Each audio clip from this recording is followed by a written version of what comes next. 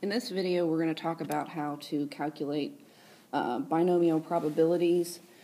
Um, I'm actually going to walk you all through uh, an example that comes from your book. It's on page 521. And the example says Corinne typically makes uh, 75% of her free throws. In a particular game, she takes 12 free throws and we want to calculate the probability that she makes at most seven of those shots. So first of all, let's uh, just talk quickly about whether or not this truly is a binomial setting. Uh, we said our first requirement was that there had to be only two outcomes, uh, success and failure. Uh, so hopefully it's pretty easy to see that that uh, requirement is satisfied. Either she makes the shot or she doesn't. Uh, the second requirement was that there had to be a finite number of um, observations, uh, and that requirement is satisfied because there are 12, sh 12 shots taken in a game. Uh, we also needed independent events. Um, this requirement's a little bit of a stretch. If you think about sports psychology at all, you might know that um, you know, your performance at one point in the game can sort of affect your mental outlook later on in the game. But let, let's ignore that for now and just assume that each of the 12 shots that she takes, they're all independent. Whether she makes the first free throw is not going to impact whether she makes the second one, and so on. And then finally, uh, we want our probability of success to be uh, consistent for all of our observations, and that requirement is also satisfied uh, because we know that typically she's going to make 75% of her free throws. So for each individual shot, she has a 75% chance of making it. So it turns out that yes, this is truly a binomial setting. So we can use our uh, binomial formulas that we talked about uh, in the last video. So uh, what we need to do is, first of all, we need to pay close attention to what this question is asking. We're asked to find the probability that she makes at most seven of her shots. So that means we need to calculate the probability that she makes zero shots, the probability that she makes one shot, the probability that she makes two shots, and so on, up to the probability that she makes seven of those shots. Uh, because we've got quite a bit of calculating to do, or several calculations to perform, uh, I'm going to create a chart, which I've already done on the next page, to help us organize our information a little bit. Uh, we also need to talk about the difference between a PDF and a CDF. And no, I'm not talking about um, a PDF file.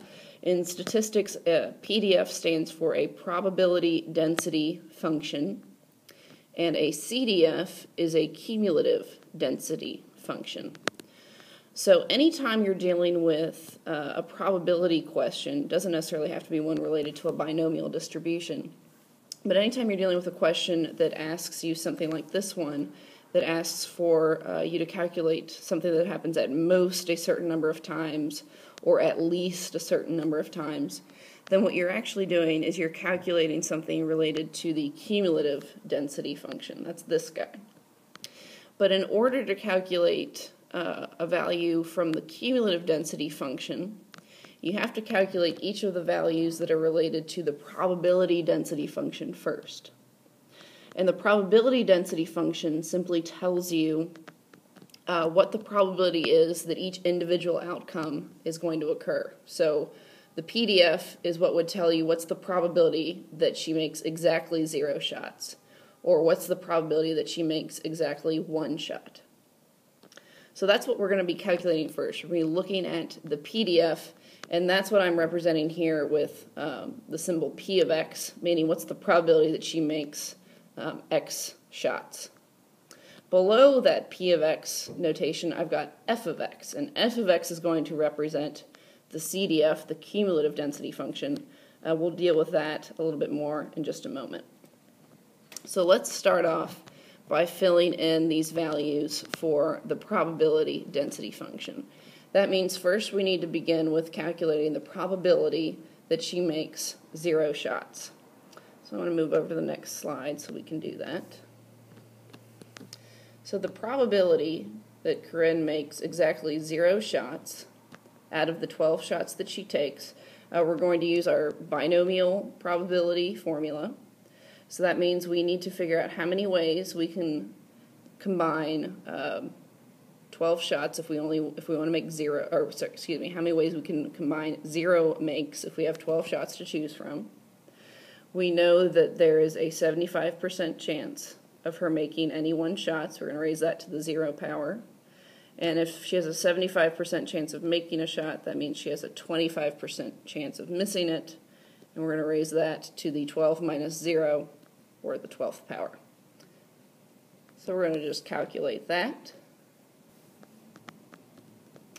and here's the probability that she is going to miss all 12 of her shots. It's 0.00000000596, uh, which should make sense. If she's a 75% free throw shooter, it is extraordinarily unlikely that she would miss all 12 shots. So now we can go on and we can calculate the probability that she makes one shot. So here we're going to do 12 choose 1 times 0.75 to the first power times 0.25 to the 11th. And give me, oops, 11th, there we go. Give me one second and I'll calculate that value. Turns out that the probability that she makes only one shot is 0.0000215, so also extremely unlikely, which again makes sense since she's a relatively good free throw shooter. Let's do just one more um, probability this way. Let's calculate the probability that she makes two shots. Uh, this will be 12 choose 2 times 0.75 to the second power times 0.25 to the 10th. And this probability is 0.000354. So the probabilities are slightly increasing, but we still haven't uh, found the most likely outcome. Um, I'm going to fill in the probability density function chart in just a second. Uh, but before I do that, I do want to say that um, if you want to calculate each of these probabilities by hand, like I've been doing, you certainly can do that. But as you can see, it's kind of a time consuming process. There is a faster way that you could do this on your calculator, and I'll give you a hint. It's going to involve using your lists, um, but I'd like for you to all uh, try to kind of figure out how you could do that on your own. You're going to have to use a list numbered from 0 to 12, and that could be in list 1, and then in list 2, you're going to try to, have to figure out um, how you could write a formula that would populate with all of these various uh, probabilities from making zero shots up to the probability of making 12 shots. All right, so I've gone ahead and I've calculated each of the probabilities associated with Corinne making from zero up to all 12 shots. And you should be able to see, uh, like we already said, the first few values that we calculated were incredibly small because it's very unlikely that someone who makes 75% of her free throws would make only one or two or three um, of her 12 attempts. Then, as we continue across the probability density functions chart, you see that the probabilities begin to increase.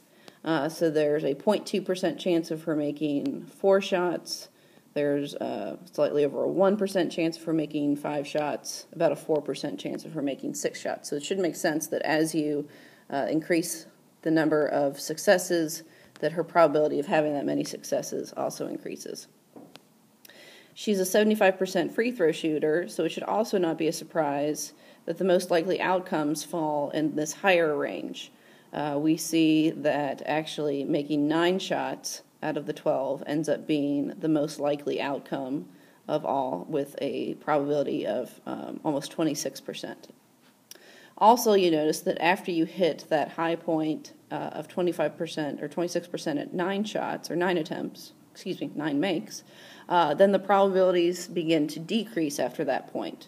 Uh, as you increase the number of makes even more, there ends up only being a 3% chance that she would make all 12 shots, which would make sense again, because as the probability or as the number of shots increases, what we expect, um, the probability of that outcome increases, and then as we surpass the number of attempts that we expect her to make, then the probability begins to decrease. So there's the PDF function for you. But we still haven't answered our question. We want to know what is the probability that she makes at most seven of her shots. So in order to do that, we're going to need to calculate the cumulative density function. Now the cumulative density function uh, simply takes all of our values from the probability density function and adds them up. So, for instance, our first entry for our CDF chart is just going to be the same as the probability of getting zero makes, and that's going to be 6 times 10 to the negative 8. So there's a very, uh, like we said, a low probability of that happening. And then we simply just keep summing up um, for each of our subsequent attempts. For our cumulative density for making one shot, that's going to be uh, just what we get when we add the results for getting zero makes and one make, and that's going to be 2.2 times 10 to the negative 6.